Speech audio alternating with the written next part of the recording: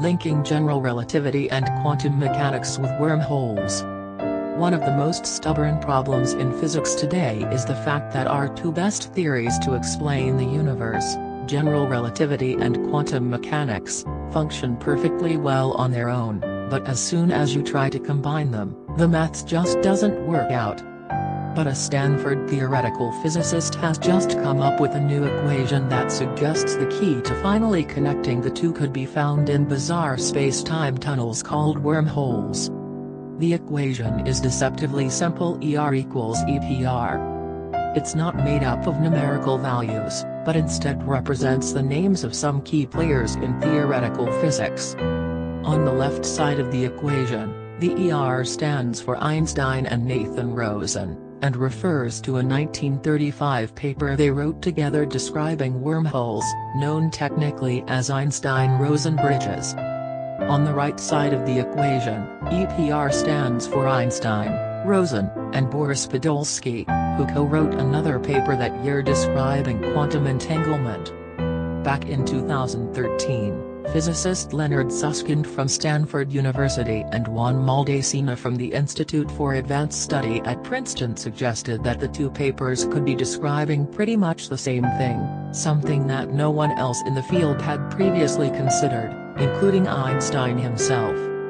Now Susskind is back to discuss the implications if he's in fact right.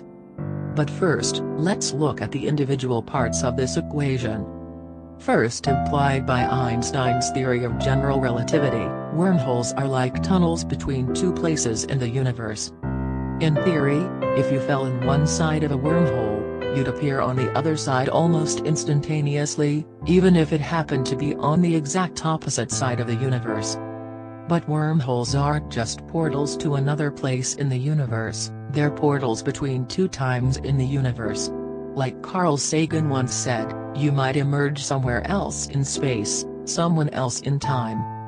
Quantum entanglement, on the other hand, describes the way that two particles can interact in such a way that they become inexorably linked, and essentially share an existence.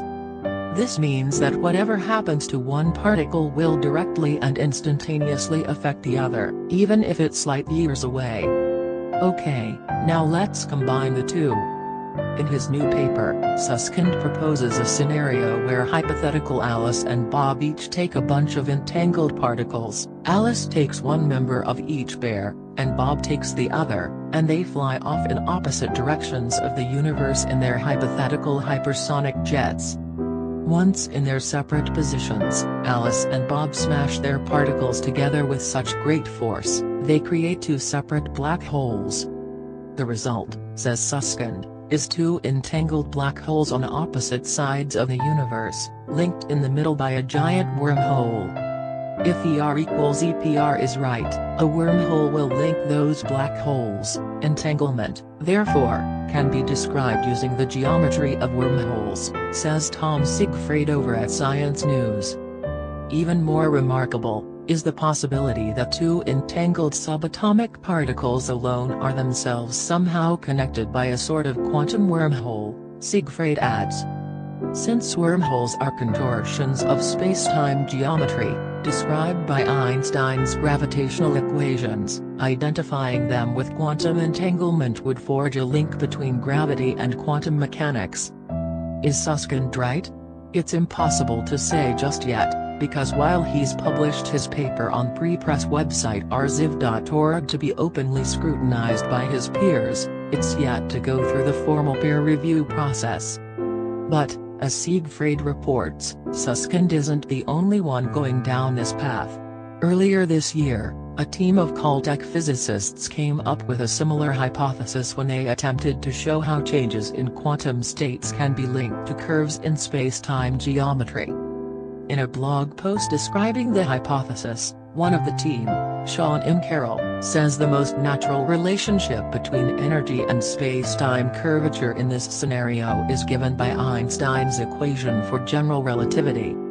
The claim, in its most dramatic-sounding form, is that gravity, that is space-time curvature caused by energy, momentum, isn't hard to obtain in quantum mechanics, it's automatic or at least, the most natural thing to expect, he says.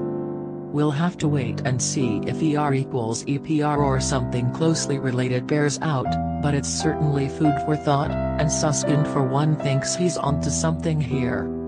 To me it seems obvious that if ER equals EPR is true, it is a very big deal, and it must affect the foundations and interpretation of quantum mechanics, he writes, adding that if he's right, quantum mechanics and gravity are far more tightly related than we or at least I had ever imagined.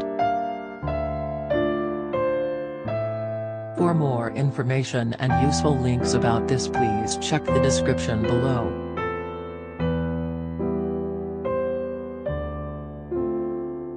Thank you for watching. Subscribe for more.